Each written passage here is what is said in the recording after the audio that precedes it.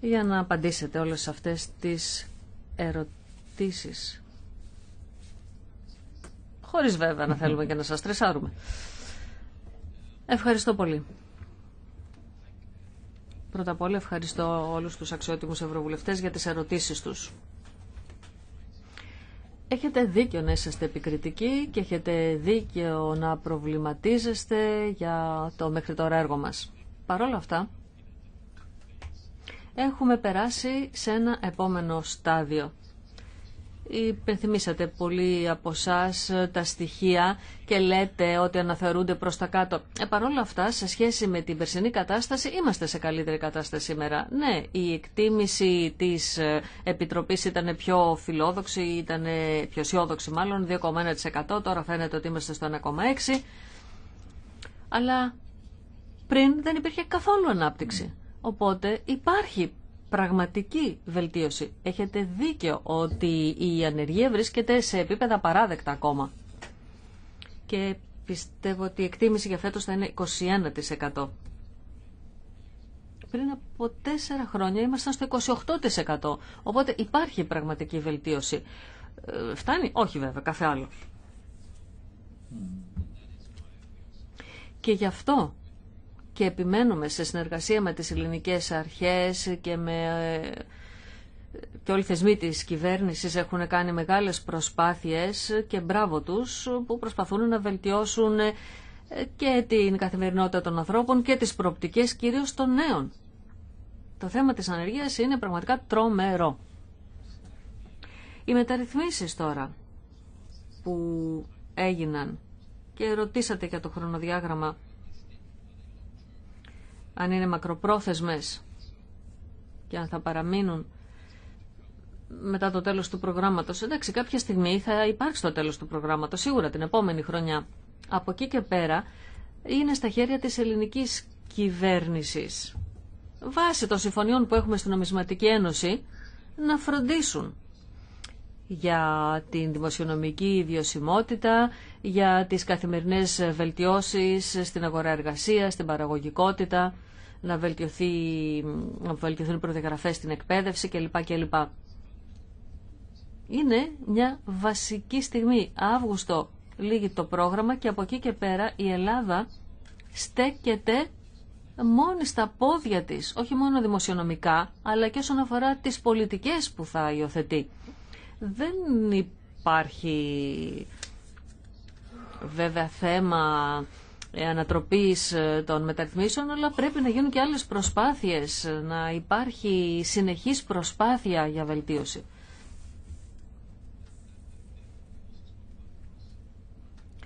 Αναφερθήκατε και στην πρόσβαση στις αγορές, δεν είμαι σίγουρος αν κατάλαβα. Η Ελλάδα πριν από λίγους μήνες βγήκε στις αγορές και θα συνεχίσει να το κάνει δοκιμάζοντας τις ε, αγορές κάθε τόσο. Η Ελλάδα δεν χρειάζεται να πηγαίνει συχνά τα επόμενα χρόνια στις αγορές, δεδομένου ότι έχουν πρωτογενές πλεόνεσμα, ότι οι δημοσιονομικοί στόχοι είναι πάνω από τους ε, βασικούς στόχους.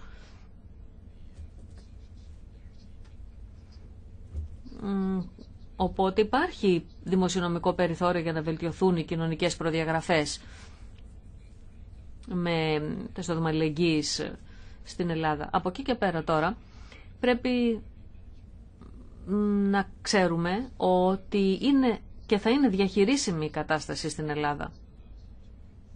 Είναι θέμα βέβαια εμπιστοσύνης και βάσει αυτής θα μπορέσει να γίνει πλήρως ανεξάρτητη η Ελλάδα. Δεν υπάρχει, θέλω να πω, σοβαρός λόγος να θέλει η Ελλάδα να βγαίνει στις αγορές. Δεν υπάρχει ανάγκη και αυτό είναι θετικό. Τώρα πολλοί από εσάς αναφερθήκαν στα μέτρα για την μείωση της ανεργίας και τις προσπάθειες που έγιναν. Είναι μέρος του προγράμματος η βελτίωση των πολιτικών ε, στην αγορά εργασίας ακριβώς για να υπάρξει βελτίωση στην επαγγελματική κατάρτιση Όλα αυτά είναι μέρος του προγράμματος. Τεχνική αρρωγή υπάρχει ακριβώς για να ενεργοποιηθούν ακόμα περισσότερο πολιτικές υπέρ της απασχόλησης. Στήριξη από το Κοινωνικό Ταμείο επίσης υπάρχει και διάφορα προγράμματα στήριξης της αγοράς. Όλα αυτά γίνονται με μεγάλη συμμετοχή της Ευρωπαϊκής Επιτροπής και άλλων θεσμών για να στηριχθεί η Ελλάδα σε αυτή την προσπάθεια. Είναι κάτι που δεν προβάλλεται τόσο πολύ. Ε, συχνά τα θετικά δεν προβάλλονται αρκετά. Υπάρχουν όμως. Γίνεται πολλή δουλειά και από αυτού. Η κυρία Γιονκέριος αναφέρθηκε στις συλλογικές συμβάσεις και λέει ότι είναι πρώτη προτεραιότητα. Εντάξει, ερχόμαστε από την ίδια παράδοση. Ε, σοσιαλδημοκράτες ε, της Ολλανδίας είμαστε και δύο. Το σύστημα των συλλογικών συμβάσεων βασίστηκε τουλάχιστον το οριζόντιο σκέλος πάγωσε. Και αυτό είχε να κάνει με την ανάγκη να διορθωθεί η μεγάλη άνοδος στους μισθούς που είχε παρατηρηθεί. Ήταν βέβαια καταστροφικό για την ατοχή της ελληνικής οικονομίας. Αν δείτε οι μισθοί στην Ελλάδα πώς ανέβηκαν από τη στιγμή που εισήχθη το ευρώ μέχρι την αρχή της κρίσης, ήταν πολύ μεγαλύτερη άνοδος αυτή από ό,τι σε οποιαδήποτε άλλη χώρα. 30%. Τώρα βέβαια έχει διορθωθεί αυτό. Και φυσικά οι επιπτώσεις οικονομικές και κοινωνικές είναι αρνητικές. Αλλά έγινε αυτή η διόρθωση σε σχέση με τα χρόνια πριν τη κρίση που οδήγησαν στο διέξοδο.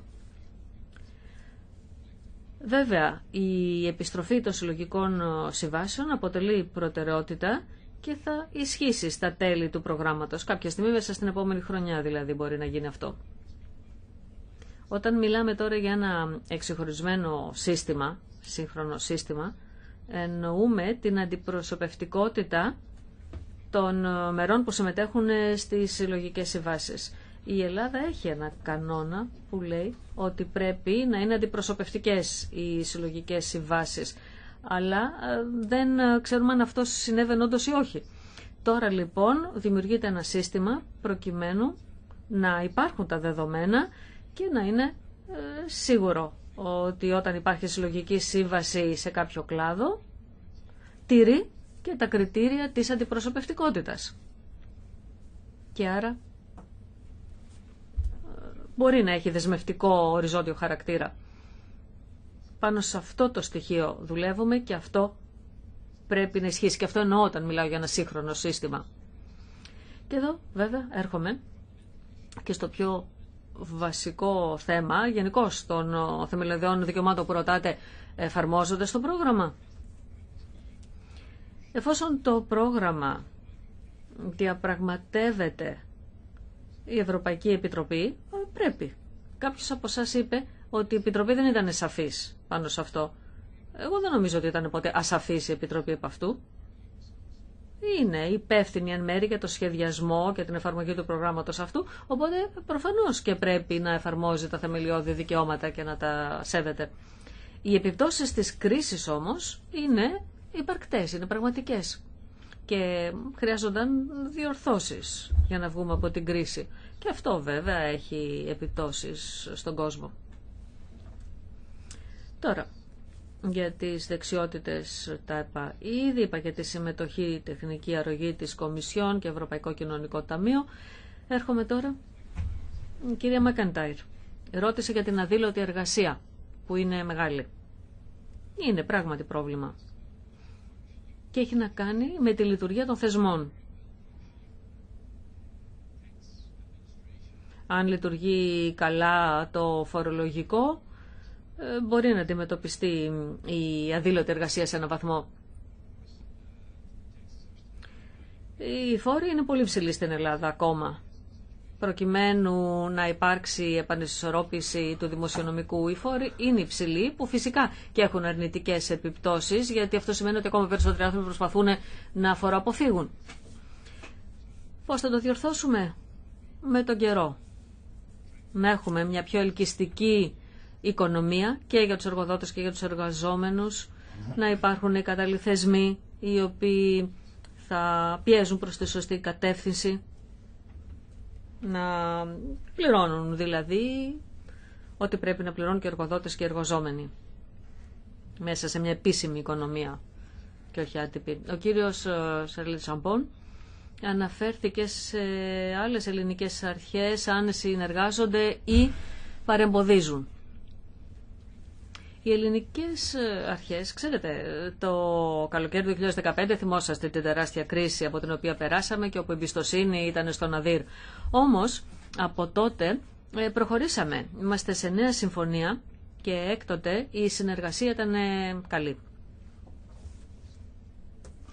Οπότε είμαι θετικός και η δεύτερη αξιολόγηση ίσως εντάξει, πήρε υπερβολικά πολύ χρόνο, κάτι το οποίο εμπόδισε την οικονομική ανάκαμψη. Η κατάσταση στην Ελλάδα είναι σήμερα. Τα προγράμματα, οι αξιολογήσεις, οι θεσμοί κυριαρχούν, ναι, το ξέρω και αυτό επηρεάζει την εμπιστοσύνη στην ελληνική οικονομία. Αν το πρόγραμμα πηγαίνει καλά, αν η αξιολόγηση τρίτη προχωρήσει ήπια, εύκολα και όντως ολοκληρωθεί μέχρι τα τέλη της χρονιάς, αυτό θα τροφοδοτήσει εμπιστοσύνη στην ελληνική οικονομία και θα νιώσουν όλοι ότι κάτι πάει καλά εκεί. Και γι' αυτό είμαι πολύ ικανοποιημένος από τις επικοδομητικές συζητήσεις που έχουμε τώρα με την ελληνική κυβέρνηση και από το γεγονός ότι η τρίτη αξιολόγηση πάει τόσο καλά πολύ σημαντικό για να πετύχουμε αυτή την ανάπτυξη του χρόνου. Κάποιος είπε ότι η εκτίμηση ήταν 2%, 2,5% έτσι. Πρέπει να το δούμε βέβαια ακόμα, αλλά αυτή είναι η εκτίμηση. Επίσης, είπατε ότι ο κόσμος, οι πολίτες πρέπει να νιώσουν τα ωφέλη από το ευρώ. Έχετε δίκιο και αν τα σχόλιά μου φάνηκαν κάπως αρνητικά για κάποιους, ε, λάθος, λυπάμαι. Στη νομισματική ένωση όλοι πρέπει να κάνουμε ό,τι μπορούμε, να τηρούμε τα συμφωνημένα, προκειμένου να λειτουργήσει. Άρα η αλληλεγγύη συνοδεύεται από κανόνες. Αυτό ήθελα να πω, αυτό είναι που λέω πάντα. Και είναι σημαντικό. Τα πρώτα χρόνια του ευρώ ήταν πολύ καλά για όλους μας. Είναι αλήθεια, οι οικονομίες μας άνθησαν, τα πρώτα 7 χρόνια και μετά περάσαμε στην επόμενη κακή επταετία, ελπίζω όχι άλλο, σε ένα δύσκολο οικονομικό κλίμα. Τώρα πιστεύω ότι αρχίζει να βελτιώνεται πια η κατάσταση.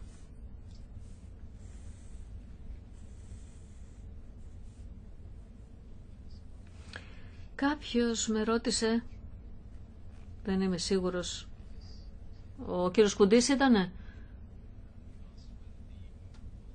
για τις προτάσεις όσον αφορά τη συνταξιοδότηση. Αν έρχονται από την ελληνική κυβέρνηση, οι μεταρρυθμίσεις συνταξιοδοτικές έγιναν σε συνεργασία με τους θεσμούς. Το καλοκαίρι του 2015 ήταν ένα στοιχείο κλειδί πάνω στο οποίο διαπραγματευτήκαμε το πρόγραμμα. Συμμετείχα σε κάποιες από αυτές τις συζητήσεις. Ε, πρόκειται για διαπραγματεύσεις, πραγματικά διαπραγματεύσεις μεταξύ των διαφόρων πλευρών δεν ήταν κάτι που επιβλήθηκε από τη μία πλευρά. Όχι. Έγιναν διαπραγματεύσεις προκειμένου να γίνει βιώσιμο το συνταξιοδοτικό και με τρόπο που να είναι αποδεκτός και από τους Έλληνες. Αναφερθήκατε και στο κούρεμα στην Κύπρο και πώς το βλέπω. Και η επόμενη ερώτηση ήταν πολύ ενδιαφέρουσα. Λέτε κατά πόσο συμφωνώ με τον Όλη Ρεν που είπε ότι το πρώτο πρόγραμμα έγινε για να στηριχθούν οι τράπεζες. Κοιτάξτε, στο πρώτο στάδιο της κρίσης στις χώρες μας, το μεγαλύτερο πρόβλημα ήταν βέβαια η τράπεζα. Είχαμε τραπεζική κρίση, δημοσιονομική κρίση και χρησιμοποίησαμε πολλά από τα χρήματα του φορολογούμενου, με λάθος τρόπο κατά τη γνώμη μου, για να σώσουμε τις τράπεζες. Και ο κόσμος που επέκρινε τα πρώτα χρόνια του ελληνικού προγράμματος λέγοντας ότι μα όλα έγιναν μόνο για τις τράπεζες, έχουν κάποιο δίκιο. Και αυτό ισχύει για όλες μας τις χώρες. Οι τράπεζες παντού στην Ευρώπη σώθηκαν σε βάρος του φορολογούμενου. Γι' αυτό και φτιάξαμε την Τραπεζική Ένωση τώρα. Με υψηλότερες προδιαγραφές, με καλύτερη εποπτεία, με ένα πλαίσιο εξυγίανσης, διάσωσης, αν οι τράπεζες έχουν απώλειες. Ακριβώς για να μην ξαναβρεθούμε σε αυτή την κατάσταση. Το υψηλό δημοσιονομικό χρέος χωρών που παραμένει σε πολλές ε, περιπτώσεις έχει να κάνει με την τραπεζική κρίση και αυτό δεν πρέπει να επαναληφθεί.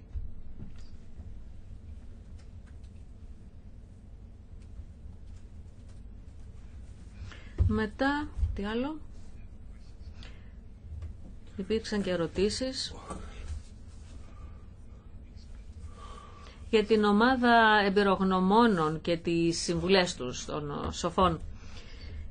Έγιναν συστάσεις για 11 τομείς. Για κάποιους από αυτούς οι εμπειρογνώμονες δεν συμφωνούσαν, δεν κατέληξαν ομόφωνα.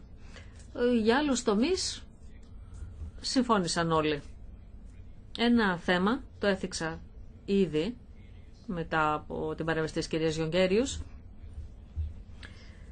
θα ακολουθήσουμε τη σύστασή τους στο τέλος του προγράμματος. Υπάρχει ένας συμβιβασμός δηλαδή ανάμεσα στους αρχικούς στόχους του προγράμματος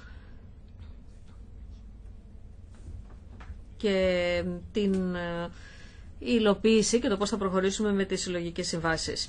Κάποιες άλλες συστάσεις τις επεξεργαζόμαστε τώρα, αποτελούν μέρος της τρίτης αξιολόγησης.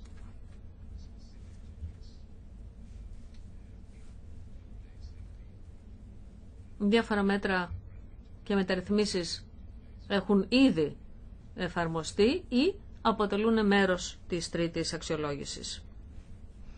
Οπότε έχουμε χρησιμοποιήσει καλά τις συστάσεις των σοφών. Ρωτήσατε κατά πόσο το Συμβούλιο Απασχόλησης πρέπει να εμπλέκεται ή όχι. Οι μεταρρυθμίσεις έχουν να κάνουν ε, με ένα ευρύ πεδίο θεμάτων στις ε, κοινωνίες των χωρών που βρίσκονται σε πρόγραμμα. Πολλοί θεσμοί και η Επιτροπή και το IMF βέβαια συμμετέχουν και έρχονται στο Eurogroup με ένα πακέτο συμφωνημένο μεταξύ των θεσμών και των λόγω χωρών. Και πιστεύουμε ότι είναι αυτά τα οποία χρειάζονται για να ξαναμπεί στην κανονική ροή χώρα. Βάση τέτοιας συμφωνίας χρηματοδοτούμε στη συνέχεια τη χώρα μέσω του ESF πριν, του ESM τώρα. Έτσι λειτουργούν τα πράγματα. Δεν προβλέπεται συμμετοχή κανένας άλλου συμβουλίου. Θα μπορούσε επί της ουσίας. Αλλά προς το παρόν ο σχεδιασμός του προγράμματος γίνεται ανάμεσα στους θεσμούς και τη χώρα. Και μετά οι Υπουργοί Οικονομικών αποφασίζουν για τη χρηματοδότηση της χώρας που ζητάει ενίσχυση. Έτσι γίνονται τα πράγματα.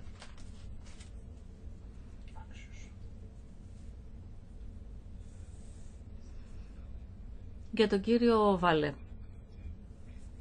Είπατε πότε θα έχουμε τις πραγματικές μεταρρυθμίσεις για τα μεγάλα ζητήματα. Αναφερθήκατε στις ανισορροπίες που έχουμε στην Ευρωζώνη. Εδώ θα έλεγα ότι οι ανισορροπίες αυτές στην Ευρωζώνη και μεταρρυθμίσεις χρειάζονται σε επίπεδο μακρό. Αλλά εξακολουθούμε όμως να χρειαζόμαστε μεγάλες μεταρρυθμίσεις στις επιμέρους χώρες. Όχι μόνο στις χώρες που βρίσκονται σε πρόγραμμα όχι μόνο σε, στις χώρες της Ευρωζώνης, σε όλες τις χώρες. Και αν θέλετε μάλιστα να διορθώσετε τις ανισορροπίες λογαριασμών, τρεχουσών ε, λογαριασμών με τα πλεονάσματα που υπάρχουν σε κάποιες χώρες, χρειάζονται μεταρρυθμίσεις και σε αυτές τις χώρες με πλεονάσματα. Χρειάζονται υψηλότερη μισθή σε αυτές τις χώρες. Στην Ολλανδία, στη Γερμανία για παράδειγμα, όπου οι μισθοί θα έπρεπε να αυξηθούν, θα βοηθούσε αυτό αλλά χρειάζονται και επενδύσεις σε υποδομές, στην εκπαίδευση, στην έρευνα. Θα βοηθούσε κάτι τέτοιο. Οπότε, ναι, χρειάζεται περισσότερη δουλειά επιμέρους, ναι, γίνεται η συζήτηση αυτή στο Eurogroup και ναι, όλο και περισσότερο τα πέντε χρόνια που είμαι στο Eurogroup, ναι, επιμείναμε πάρα πολύ στα δημοσιονομικά προβλήματα, αλλά όλο και περισσότερο τώρα στρεφόμαστε στις μεταρρυθμίσεις της Ευρωζώνης γενικότερα. Συζητάμε όλο και περισσότερο για την Τραπεζική Ένωση, που είναι μέρος της μεταρρύθμισης της Ευρωζώνης. Μιλάμε για το ίντις, που είναι και αυτός ένας τρόπος να υπάρξει εξισορρόπηση στις διαφορές μεταξύ των χωρών μελών μας. Οπότε αυτού του είδους οι μεταρρυθμίσεις σε επίπεδο ευρωζώνης, ναι, πρέπει να συνεχιστούν. Όχι όμως αντί για τις εθνικές μεταρρυθμίσεις, αλλά ως συμπλήρωμα στις εθνικές μεταρρυθμίσεις. Μίλησα για τα θεμελιώδη δικαιώματα, για τις συλλογικές συμβάσεις. Τι άλλο. Εκφράσατε μια ανησυχία, δεν έγραψα το όνομά σας, συγγνώμη. Αναφερθήκατε στην ποιότητα των θέσεων απασχόλησης. Είπατε ότι στην Ελλάδα είναι μόνο χαμηλών δεξιοτήτων. Δεν βλέπω να συμβαίνει κάτι τέτοιο. Δεν βλέπω γιατί. Το βασικό για την Ελλάδα σήμερα είναι η ανάκτηση εμπιστοσύνης στη χώρα, στην οικονομία, αλλά και στο διοικητικό πλαίσιο, στο νομικό σύστημα, έτσι ώστε όλο και περισσότερες επενδύσεις να επιστρέψουν στη χώρα. Και σίγουρα αν γίνουν οι επενδύσεις, τότε αυτό σημαίνει ότι χρειάζονται και καλύτερες δεξιότητες, πιο σύγχρονες. Αυτές που χρειάζονται στο σημερινό κόσμο. Οπότε και για την ποιότητα της απασχόλησης και για την ποσότητα της απασχόλησης χρειάζονται επενδύσεις. Αρχίζει να γίνεται αυτό. Βλέπουμε ότι αρχίζει να υπάρχει ενδιαφέρον απ' έξω, αλλά το κλειδί σε όλα αυτά είναι η εμπιστοσύνη και η σταθερότητα. Αναφέρθηκα επίσης στις εκτιμήσεις για την ανάπτυξη και τέλος, κύριε Παπαδημούλη, όντως συζητάμε πολύ συχνά για την Ελλάδα και όπως πολύ σωστά είπατε, συχνά διαφωνούμε μεταξύ μας. Αλλά εδώ νομίζω ότι μπορούμε να συμφωνήσουμε για το ότι η προοπτική είναι πολύ καλύτερη σήμερα από ό,τι κατά το παρελθόν. Και αν συνεχίσουμε να εργαζόμαστε επικοδομητικά όπως κάνουμε τώρα, πράγματι αυτό θα δείξει ότι κάτι αλλάζει και στην Ελλάδα και εκτός Ελλάδας. Η τρίτη αξιολόγηση, από ό,τι μου λένε ακόμη και σήμερα, οι θεσμοί πάνε καλά τα πράγματα.